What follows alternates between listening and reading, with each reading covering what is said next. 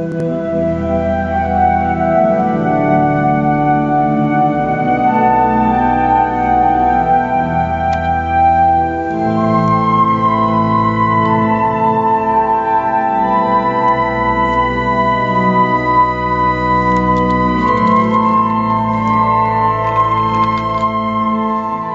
sommes à la Tour Saint-Joseph, entourés de beauté, par la, de joie et d'action de grâce, à préparer, à, à honorer le Saint-Sacrement qui va après-midi passer dans nos couloirs.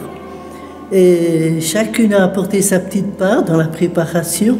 C'est merveilleux.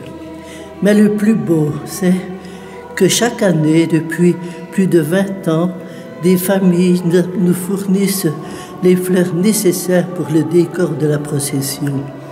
Et aujourd'hui, on, voudrait que toutes ces fleurs chantent la gloire de Dieu, mais surtout que la main de ces personnes qui créent des beautés soit bénie de leur entreprise et qu'elle soit assurée de notre prière reconnaissante.